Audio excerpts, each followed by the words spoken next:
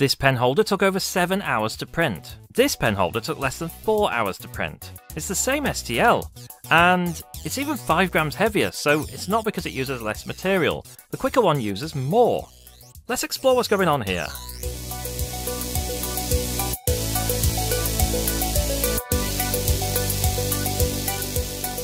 Usually when you want to reduce the print time of a piece, you might try to reduce the wall count, you might try to reduce the infill. I mean, if you want to go for extreme fast printing, with cylinders like this, you could go into vase mode and you could try and print a single wall but really thick. Video on how to do that coming in the future.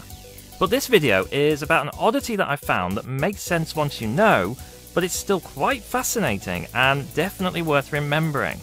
Let's take this model into Cura and have a look at it. It's just a standard cylinder. I made this for the end of my last video on using Sugru on the base to stop it scratching a desk. So it has this profile on the bottom to hold the Sugru. It could have done with being a lot wider, but that's beside the point. If I choose my usual fast profile and two walls, which is pretty standard, and I slice it, I get 7 hours and a few minutes. It's not that surprising for a fairly tall model, but it's still way more than I might expect for something of this shape and size. By chance I changed the wall count from 2 to 3, and look what happens. It goes to under 4 hours. Why? Well, whenever I'm not sure why a print time is longer than it ought to be, I find this report useful on Cura. There's a similar one on Prusa Slicer. In Cura, you hover over the I symbol here, this is a fairly recent addition in Cura actually, so if you're running an old version you might not see it. You can see here that the shorter one it has 2 minutes of infill versus the longer one at 27 minutes. So that explains half an hour of the time. And you'd expect this, you're printing more walls so you've got less infill. But the key here is that you've taken all the infill out, which means you're not having to travel at all for doing infill, which turns out to account for a whopping nearly 3 hours of print time. It's also interesting to see how all the other variables line up. Three walls means you don't spend nearly as much time on skin, but more time on inner walls, which I can't say makes a lot of sense. In spite of trying to look up what skin is in terms of Cura, I didn't really get anywhere. As usual, if you know, please add it to the comments. At a hunch, it's probably just what they're calling the outermost wall, which is labelled as shell in the preview here. I know Prusa Slicer uses shell as a terminology instead of skin. It would be nice to have consistent terminology, but that's not where we are yet.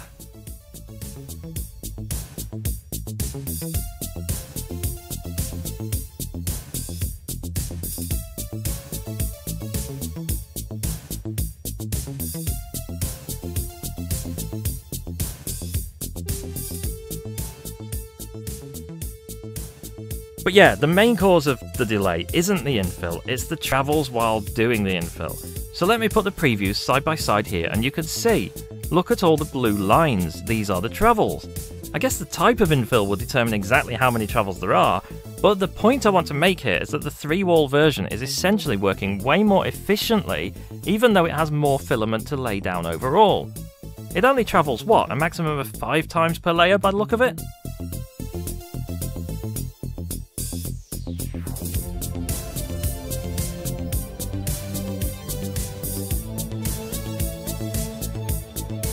This is definitely a technique that you would want to keep in mind every time you're printing something out that's essentially a container.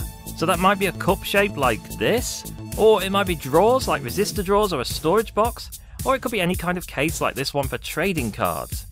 If you eliminate the infill in the sides by increasing the walls, then you will save time, and you will get a stronger wall, and perhaps even wear and tear on the printer will decrease too because there's not so many small movements and shaking. I suppose you might be screaming at the screen at this point that this is basically the same as doing 100% infill, and you'd be right, but it's not entirely.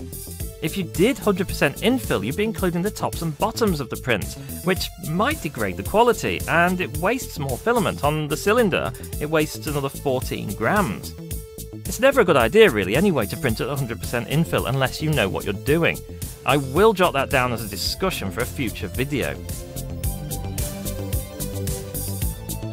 So, I hope this was helpful. I guess the moral of the story is that more is less, or less is more, or maybe just that you always have to have a good look at the preview before you actually click the print button.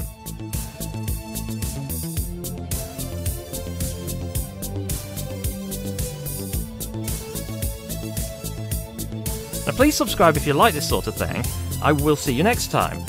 Thank you for watching.